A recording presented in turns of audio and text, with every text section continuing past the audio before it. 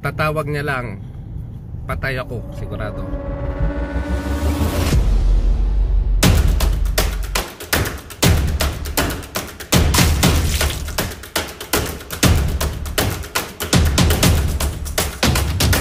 Hello guys, kakatawag lang ni Commander at hinahanap ako.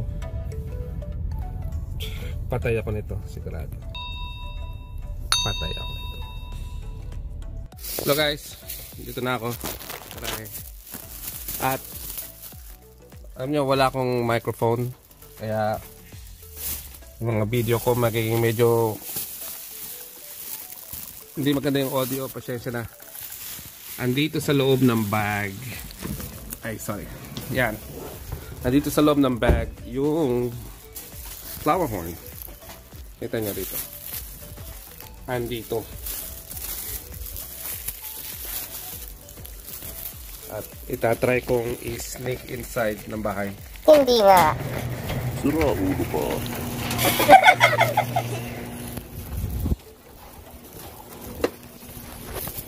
May suso. Alright guys. Here we go. Kasi na medyo nag-i-snow. Obvious ba? Mubuhos ng mga 6 to 10 inches na snow ngayong araw. Kaya bilisan natin makapasok. Lalamigin yung isda. Wow!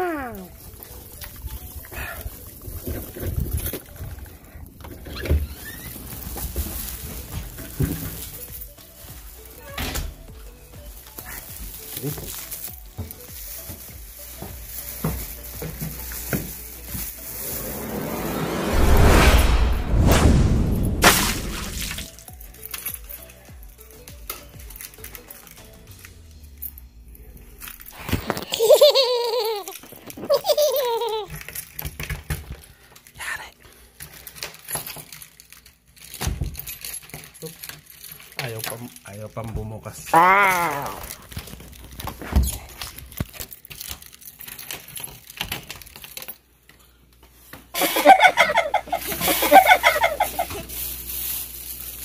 Yari ka na naman.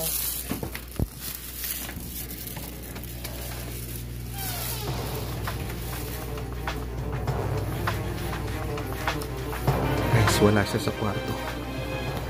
Nasa banyo. Ay. Lagay ko muna siya rito. Sa ibabaw.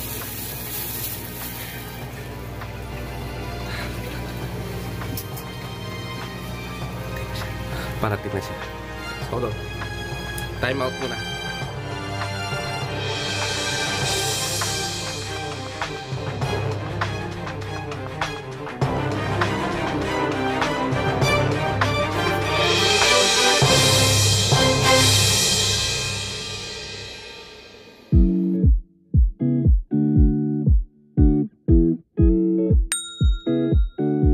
Sa inyo mga kaibigan. Nandito na naman po tayo sa bagong vlog at ah, video ng aking mga isda. Ito po ang ating bagong member ng collection.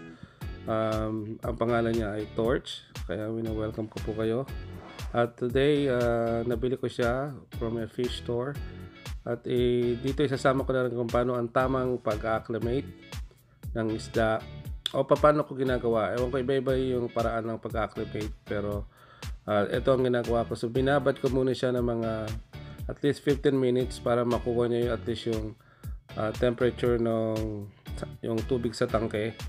Ah, mahalaga kasi magkaroon sila ng parehas na temperature. Ah, ngayon, importante rin na wag niyong ah, isasama yung tubig na nanggaling sa tindahan na pinagbilihan nyo ng isda.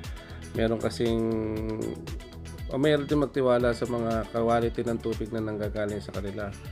So, wag po nating ibubuhos agad. Ah, ilagay lang natin ng ganito tulad sa timba.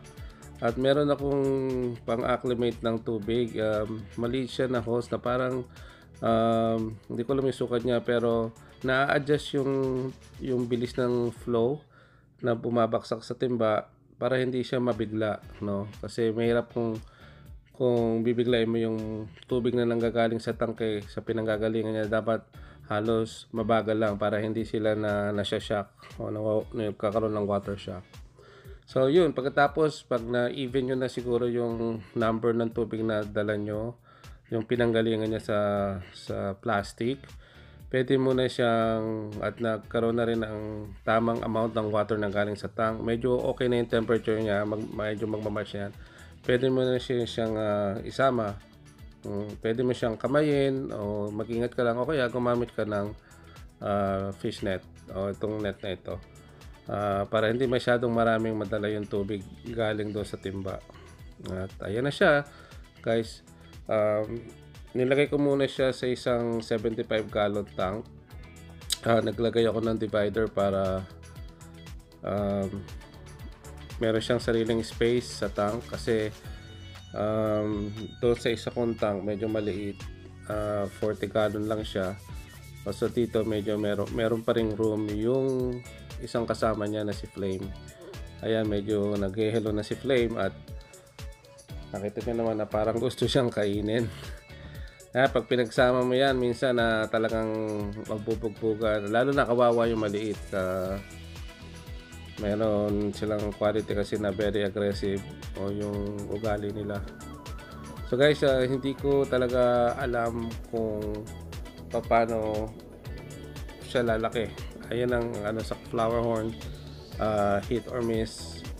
Ah, basta malaga ano, yung yung binili mo, alagaan mo kahit anumang quality niya. ah, alagaan mo kasi isa sa mga nakita mo sa store na nagkaroon ka ng interest at yun nagustuhan mo siya. So, Torch is our new member.